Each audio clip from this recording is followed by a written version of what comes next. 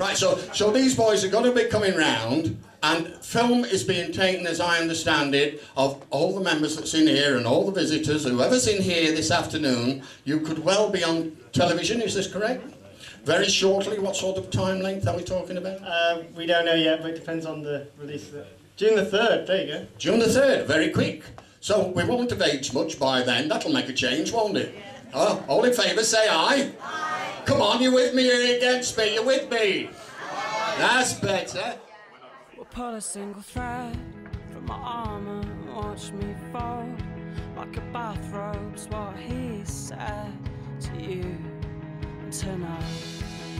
You Today we're shooting the video for um, Tigers That Talked. It's uh, Black Heart Blue Eyes, and uh, so basically the thinking behind the video is um, very, very kindly the uh, the British Royal Legion in uh, Blackpool has uh, allowed us to come and film um, uh, all day today, uh, and we're basically filming, uh, going to film the band as if um, as if they've kind of been booked for a really bad gig.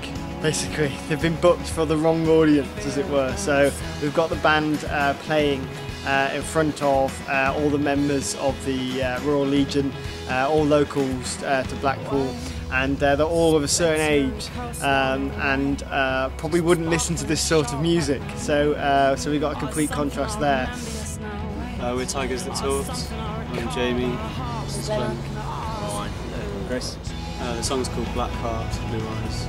It's kind of inspired by slightly s- kind of looking at the darker elements of coastal life. Um, and just, there's always seems to be some sort of kind of slight strange elements to coastal towns, and it's just about kind of digging a bit deeper into the weirdness. There's such a faded glamour here. A couple of streets back, and there's yeah. loads of de- derelict streets. Burnt out houses. and Yeah, restaurants shutting down. Interesting characters.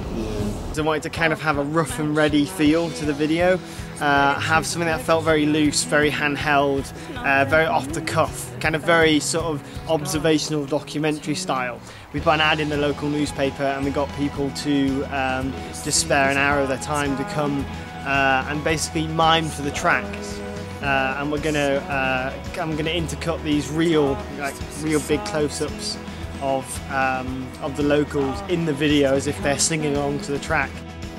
The reason why Boxbot um, wanted to do it because it's uh, we just love the track and it was a really inspiring track. Um, and uh, you know I think they're a great band. I really like them, um, and it's always helps to really like the track uh, in order to be inspired by it when you come up with a video.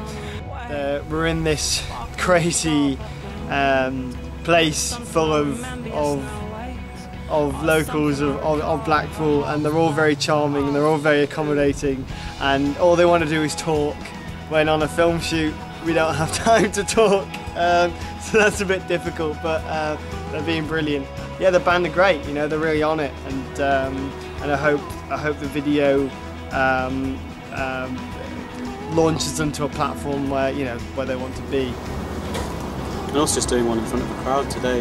Yeah. It's a totally different experience because you know Yeah, usually you're playing to a wall. and Yeah. Just a bunch of lights and cameras.